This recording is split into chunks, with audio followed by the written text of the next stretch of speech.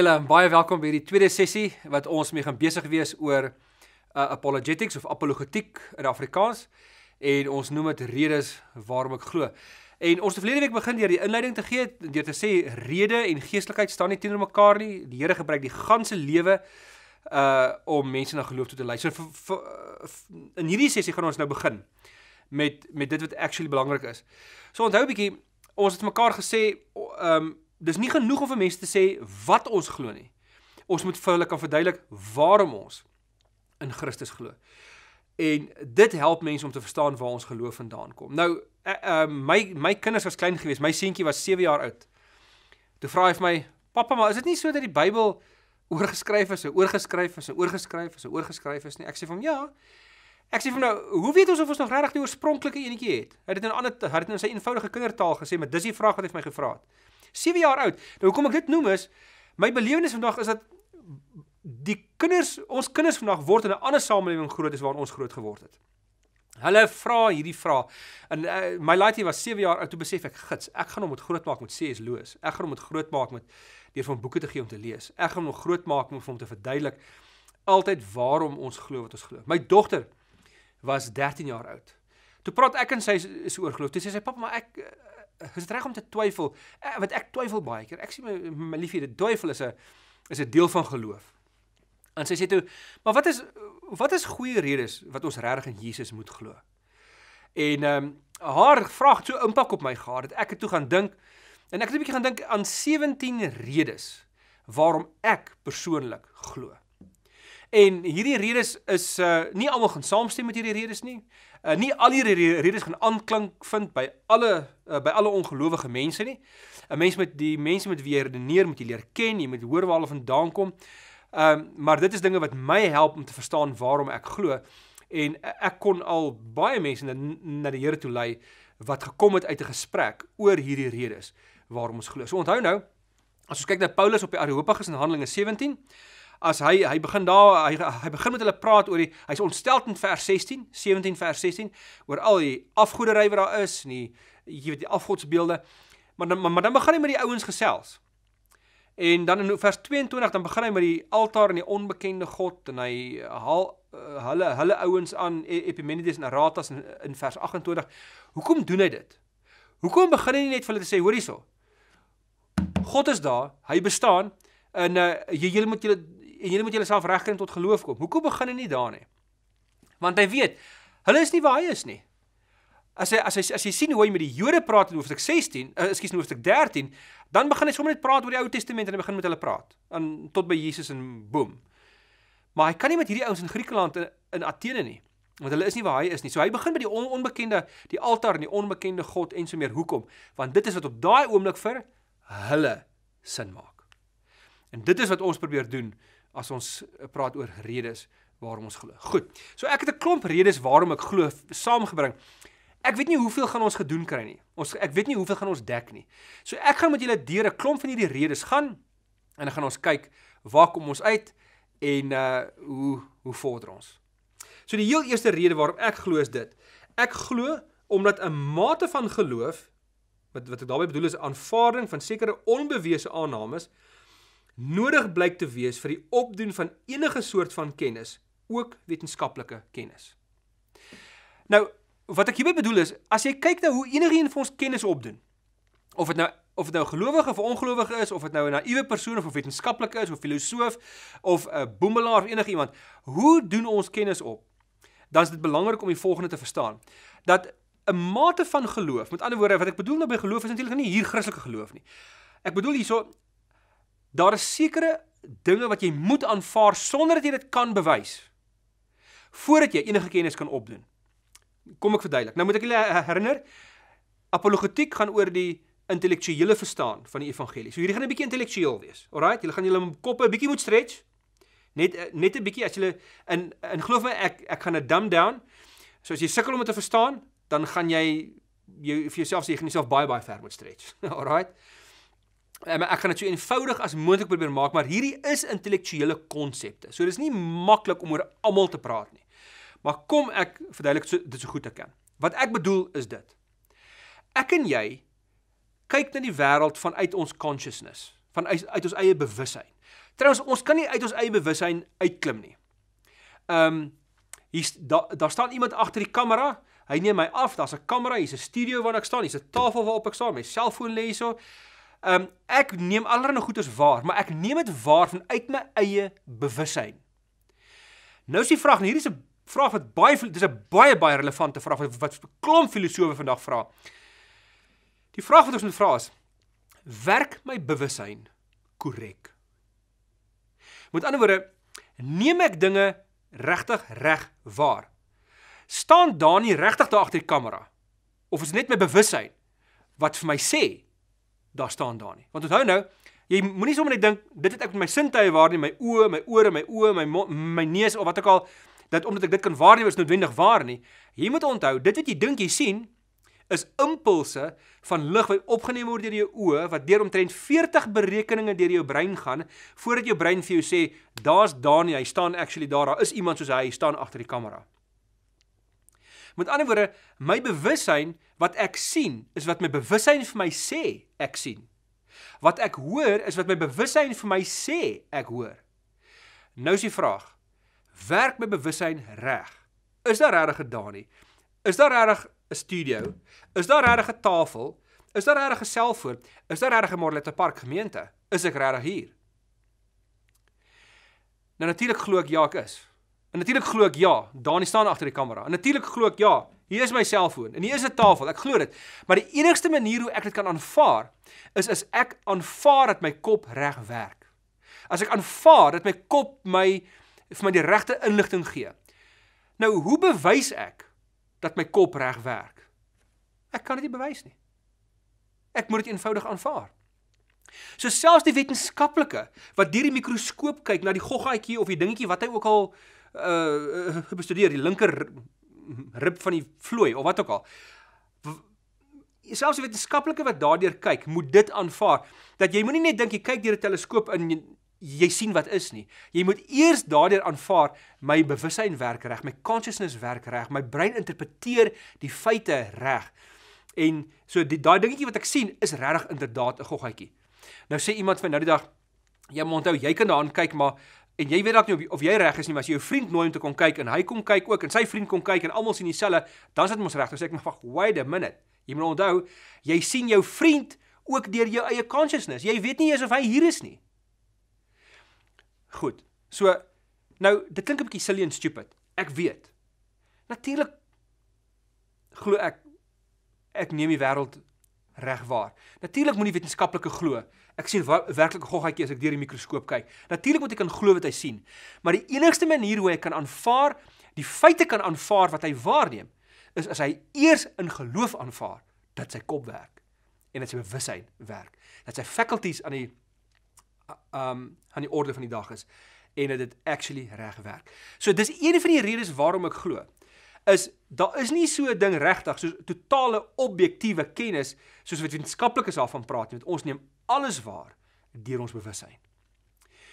Maar as die dan een van die mees fundamentele boublokke dan is 'n mate van aanvaarding van dit wat jy nie kan bewys nie, dan maak dit mos sin dat geloof in Christus ook sin maak. Dan is dit nie so irrasioneel nie, want uh ons kan nie bewys op wetenskaplike gronde dat God bestaan nie. Ons ons kan dit wel beredeneer. Ons kan bekom by 'n plek van redelike waarskynlikheid. Maar ek kan net enigsins ek kan net enige kennis aanvaar as ek reeds aanvaar het dat my kop reg werk. En dit is 'n mate van geloof. So enige wetenskaplike het eintlik 'n mate van geloof. Hy erken dit net nie as hy 'n ongelowige wetenskaplike is nie. Goed, hierdie is dalk 'n bietjie tegnies geweest, maar julle is welkom om met my te gesels te oor my te kontak of ons kan 'n op, op, opvolg sessie daaroor hou. Die tweede rede waarom ek glo. ek glo omdat geloof net so redelik is soos enige ander aanspraak op kennis. Alle mense maak immers almal sekere kennisaansprake as gevolg van drie redes: redelikheid, ervaring en autoriteit. Redelikheid, ervaring en autoriteit. Goed. So wat bedoel ek hierby? Hierdie is eintlik 'n reaksie op mense wat sê, weet jy, maar weet jy wat, ehm um, julle Christen het nou net so groot geword. Julle is sosiaal gekondisioneer om te glo en daarom glo jy. dan is my antwoord altyd uh, en wat hulle eintlik dan daarmee probeer sê is dis my eie ervaring en ek glo die autoriteit van my ouers en daarom glo ek. En my antwoord aan hulle is altyd dieselfde. Uh onthou net as jy 'n ateïs is of wat ook al jy jy word ook deur jou konteks geshape. Jy word ook jy jy het ook redes waarom jy vashou in dit wat jy aan vashou. Jy het ook 'n rede uh uh jy glo ook op grond van emosionele en kondisioneringsredes dat jy 'n ateïs is. Kom ek gee vir jou 'n voorbeeld. Baie van hierdie mense sal, sal baie keer vir my sê, "Rolf, as jy in Indië gebore was, dan sou jy nie 'n Christen gewees het nie." En my antwoord is altyd, "Ja, maar as jy in Indië gebore was, meneer die westerse ateïs, dan sou jy ook nie 'n ateïs gewees het nie. Jy sou waarskynlik 'n gelowige gewees het. Die Hindoe mense is ontsaglik gelowig uh, nie soos wat ons glo in die Christelike geloof nie, maar hulle glo in die geestelike. Met ander woorde, as jy in Indië gebore was, sou jy nie 'n westerse filosofiese relativis gewees het of 'n ateïs nie. So met ander woorde, hoekom is jy dan 'n ongelowige? Want jy's 'n westerling. Jy word ook deur jou konteks geshape. Jy word ook gekondisioneer deur jou samelewing. Ehm um, want as jy op 'n ander plek gebore was, dan was jy ook nie 'n ateïs gewees nie. So jy word net soveel gevorm deur jou deur nie net jou denke nie, maar ook deur jou ervaring en deur sosiale kondisionering. In die geskiedenis het ons geleer dat hierdie drie dinge ons ervaring, dis eintlik ons bewussyn waarvan uit ons kyk. Ehm um, ons het net ons bewussyn waarvan ons al ons kennis kry, maar ons ervaring wat ons het moet ons moet ons temper met 'n bietjie redelikheid en daarom moet ons ondersoek doen en kyk wat gebeur en in moet ons wetenskaplik dink, moet ons gaan dinge ondersoek en kyk. En almal van ons aanvaar ook dinge op grond van autoriteit of op grond van sosiale kondisionering. Ons almal gee bepaalde autoriteit gesag aan die omgewing om ons. So almal van ons ehm um, is onderhewig aan daai drie dinge. Die groot vraag is wie se manier van dink, wie se opinie, wie se bewussyn maak die meeste sin en maak hierdie wêreld die beste plek. Maar so hierdie tweede rede waarom ek glo is eintlik net om te sê, weet jy wat, Um ons as gelowiges het 'n sterk sterk intellektuele tradisie. Mense sê gedurig vir ons ons glo maar net omdat ons so groot geword het of ons glo maar net omdat ons um graag 'n kruk soek om op te leen. Ons glo weens emosionele redes. Nou ek ken baie baie skeptiese mense. Hulle glo ook weens emosionele redes. Um ek het nou 'n vriend ontmoet, um ek ek het 'n amper sy naam gesê. Hy het gesê toe hy eendag toe, toe hy op hoërskool was, toe is een van hulle familielede oorlede en hulle gaan woon toe 'n begrafnis by en ehm um, en daai daai kerkraadslede ehm um, uh, uh, laat toe nie hulle huishulp uh, toe wat anders kleurig was om in die kerkgebou in te kom nie net omdat sy nou 'n ander velkleur gehad het. En hy sê dit het hom so kwaad gemaak dat hy tot vandag toe 'n ateïs is. Toe sê ek hom, "Oké, so jy is eintlik 'n ongelowige uit woede. Is dit nie emosionele rede nie?"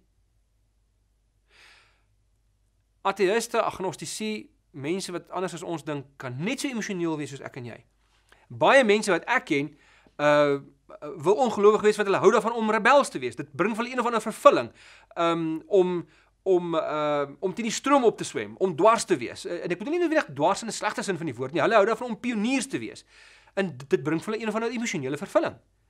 En dit maak hulle ook. Dit maak hulle ook dit uh, dit maak hulle ook emosioneel.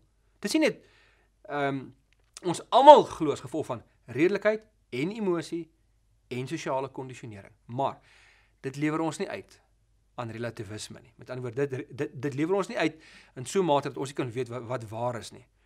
Ons kan wel weet wat waar is. Maar net hierdie tweede belangrike rede ehm um, is vir ons vreeslik belangrik. Naamlik ons geloof is net so redelik soos die opinie wat 'n ateïs mag hê. Ek gee vir ons die die derde rede. Van hierdie goed raak raak 'n bietjie eenvoudiger soos wat die pad aangaan. Hy onthou net ons het gesê, ons stretch onsself 'n bietjie. Om onsself te stretch is belangrik. Ehm um, trouens as ons ons groei eintlik net as ons self in kompleksiteit ingooi. Met ander woorde as ons gekonfronteer word met iets waarna ons nie gewoond is nie. As ons ons denke moet stretch, as ons ons ons kapasiteit om lief te hê moet stretch, as ons ons kapasiteit om geduldig te wees moet stretch, moet rek. Dis wanneer ons groei. En ek weet julle koppe is nou seer, dit pyn nou, maar dis omdat die Gees besig is om met julle koppe te werk. Dis omdat hy besig is om jou te laat groei. Alraait. So jy moet bietjie gaan dink oor hierdie goeters. Kom ek gee vir ons die derde rede waarom ek glo. Ek glo in 'n Skepper God omdat die enigste alternatiewe ateïste ateïsme en agnostisisme my koud laat en nie genoeg nie genoegsame intellektuele antwoorde gee op kritiese lewensvrae nie, soos byvoorbeeld moraliteit. Hier beantwoord Jesus vir my die vraag die heel beste. Okay, nou hier raak hier hier raak 'n bietjie eenvoudiger, maar kom ek sê vir julle wat ek bedoel. Ek moet sê ek glo in Christus omdat as ek kyk na die alternatiewe ateïsme, agnostisisme of selfs ander gelowe, dan tikkel dit my net glad nie. Ek het op my rak het ek 'n klomp ateïstiese boeke wat geskryf is deur ateïste, agnostiese ouens. Agnosties beteken dis iemand wat nie weet of daar God is nie. Hulle sê mens kan nie weet of daar God is nie. Um ek is regte sakker. Ek lees elke ongelowige boek wat uitkom, lees ek. En ek moet vir jou sê, dit doen niks vir my nie. Dit tikkel my nie. Um ek leer baie uit baie van daai boeke en baie van daai boeke challenge my geloof. Maar as ek kyk na wat mense sê, dan maak Jesus steeds vir my bloot intellektueel, rasioneel die heel meeste sin. En hierdie rede wat ek hier genoem het, is 'n goeie voorbeeld. Kom ons van die hele idee van moraliteit. Ons almal glo vandag in 'n liefdesmoraliteit. Dis moreel reg om mense lief te hê en om jou medemens lief te hê, om jou naaste lief te hê. Ehm um, waar kom dit vandaan? Want ons moet een ding onthou, dat voor Christus het daar nie 'n liefdesmoraliteit ontstaan nie. Mense het geweet wat liefde is, maar hulle hulle dit as 'n swakheid beskou. Ehm um, Hesiodus was 'n groot filosoof gewees in uh in die tyd omtrent in die eerste eeu voor en na Christus. Hy uh het gesê jy moet jy jy jy mag nie jou vyande lief hê nie. Jy moet net vir jou buurman goed wees wat vir jou goed is. Jy moet net nice wees met jou vriende.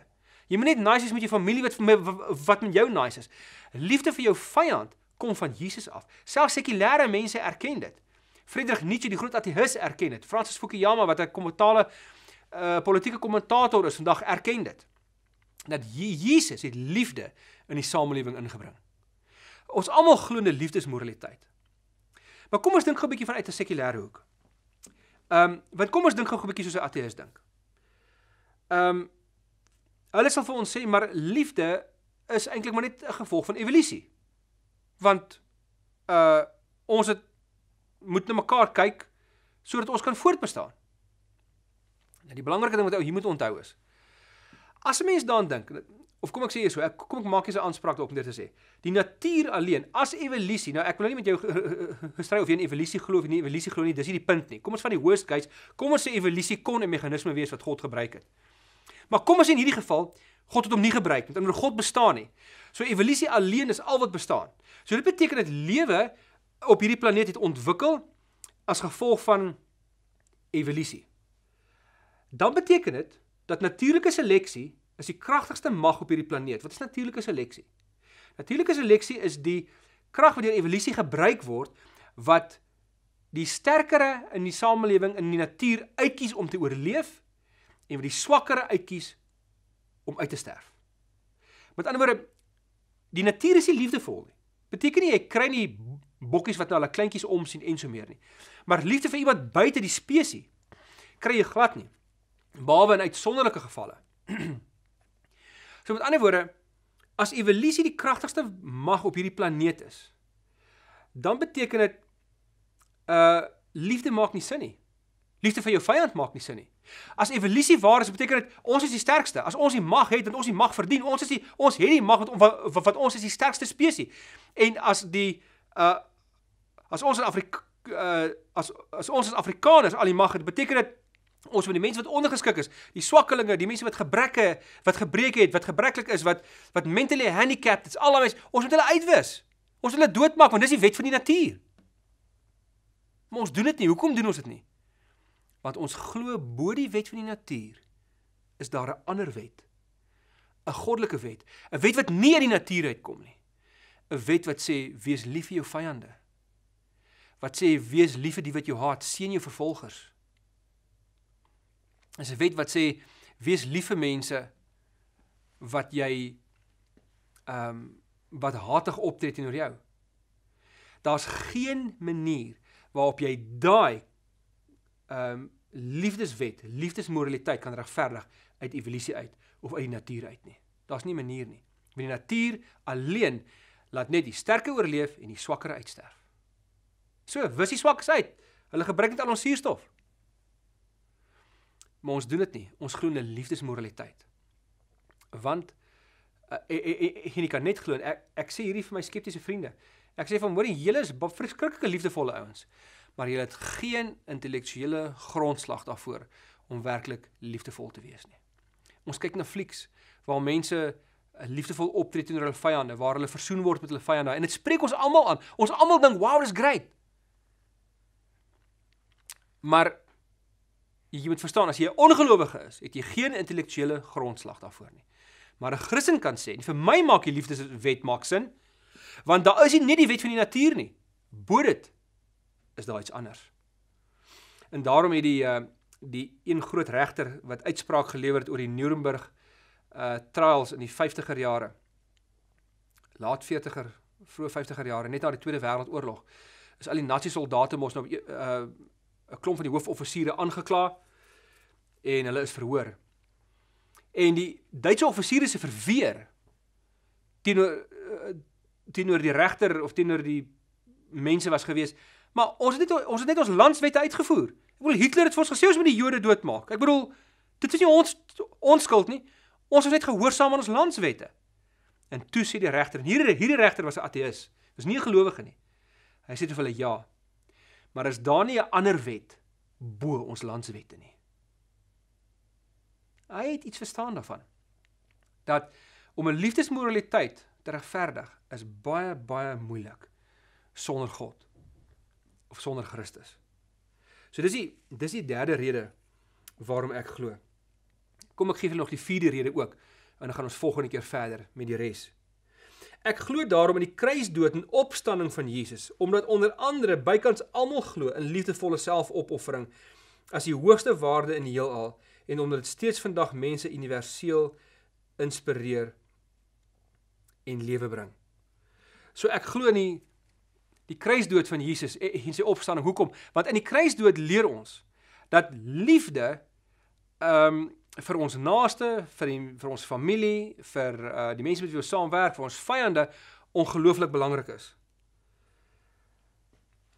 Maar waar kry ons dit? Daai hele imperatief, daai daai hele appel op ons om mense liefde lief te hê, kom van die kruis van Jesus af en kom van die opstanding af. As Jesus nie opgestaan het nie, het sy kruisdood ook niks beteken nie. Want ons glo dat in die kruis van Jesus het God na ons wêreld toe gekom, vir ons wys hoe lief hy ons het en help hy ons om te leer hoe om ander mense lief te hê. So ek glo daarom in die in die kruisdood en die opstanding van Jesus. Omdat snaaks hierdie boodskap van selfopofferende liefde inspireer almal steeds gelowig of ongelowig. Dit dit inspireer almal. Selfs al doen ongelowige mense dit nie of baie gelowige mense dit nie. Ons ons admireer dit. Ons admireer dit wanneer mense hulle self opoffer. Ek dink aan daai ding wat gebeur het in 2007 met die Amish gemeenskap. Die Amish is nogal weird, maar hulle is hulle is goeie gawe gelowige mense. Hulle is ortodokse gelowiges soos ek en jy. Hulle bly maar net buite die tegnologiese gemeenskap. En daar stap eendag 'n persoon in in 'n Amish kleuterskool in met 'n geweer en hy begin al die dogtertjies begin hy skiet. En ek dink hy skiet 4 of 5 dood. En hy wond 'n klomp ander voordat hy later homself skiet. Hoe reageer hierdie Christen Amish gemeenskap? Nommer 1 die ouers van die slagoffers, die dogtertjies. Nommer 1 vergewe hulle hom. Hulle vergewe hom. Natuurlik hy hy's eintlik nou self dood, maar hulle vergewe hom. Hulle woon sy begrafnis by hulle ondersteun sy weduwee en hulle begin in die Amish gemeenskap 'n uh, fondsinsameling doen om fondse in te samel vir hierdie moordenaar se weduwee en sy kinders wat agterbly. Wow, almal se monde het oopgaan. Wow. Dis om verskriklik vergewensgesind. Dis am amazing. Maar daai kom van die kruis en van die opstanding af. Daai soort opoffering het nie geheers voor Christus nie. Mense wat so opgetree het, is beskou as swakkelinge. Vandag beskou ons dit as in hierdie gesofistikeerde gemeenskap waarin ons leef, beskou ons dit as as as um, lofwaardig. So as as mense hierdie goeders ehm um, waardeer en admireer, hoekom hoekom aanvaar hulle dan nie die kruisdood van Jesus nie? Hoe hoekom is die kruisdood van Jesus dan so so onaanvaarbaar vir baie mense? Want dit is die hart en die bron daarvan dat ons mekaar kan lief hê, dat ons vyande kan lief hê, dat ons soos die Amish gemeenskap in 2007 kan optree in die FSA en ons vyande kan vergewe. So dis een van die redes waarom ek aan die opstanding glo. Dis nie die enigste rede is nie, maar dis een van die redes waar waar waar ek die opstanding glo. Want die opstanding, want iets in die menslike realiteit sê vir ons dat om mense lief te hê is 'n goeie ding en 'n belangrike ding. Maar daar's geen intellektuele grondslag daarvoor as ons net eenvoudig kyk. Um as ons nie die die uh die selfopofferende aard van die kruisdood aanvaar nie. En terloops, um slegs geloof in 'n trinitariese God kan vir ons hierdie ehm um, hierdie liefde regverdig. Kom ek noem vir julle 'n voorbeeld. Ehm um,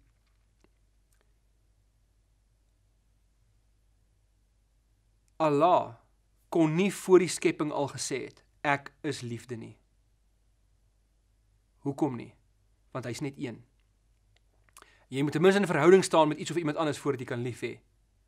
Maar God drie enig is 'n gemeenskap op sigself, Vader, Seun en Gees. Daarom het die het die drie eenheid gemeenskap beleef, liefdesgemeenskap beleef lank voor daar ander objekte was soos ons om lief te hê, lank voor daar 'n skepping was om lief te hê. En daarom is die drie die drie enige prentjie van God is die enigste prentjie van God wat reeds voor die skepping al kon sê ek is liefde. En daarom as hy die hart van realiteit is en alles wat bestaan het, het uit hom uitgekom, dan beteken dit dit maak sin as 'n drie enige God die hart van realiteit is. Hoekom voel ek en jy so ongelukkig wanneer ons 'n liefdeslewe uitmekaar uitval of wanneer ons ons vriende wanneer ons 'n kwaai verhouding is met ons kinders of ons ouers of ons vriende of ons familielede of ons boetie of sussie? Want die lewe is verhoudingsgerig aan mekaar gesit. Hoekom is dit so? Dit maak net sin as jy daaraan dink dat die oorsprong van alles 'n verhoudingsgod is, 'n drie-enige wese wat voor die skepping al kon sê ek is liefde. En dit is waarom ek glo ook in die kruis en die opstanding.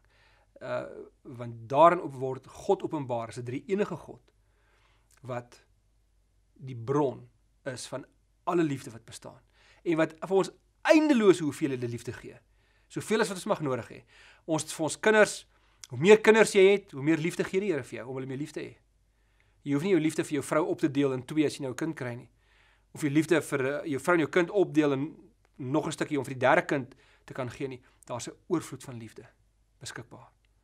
Want die hart, die bron van liefde is 'n ewige verhoudingsgod wat uit liefde uitgeskep het. Kom ek bid vir ons.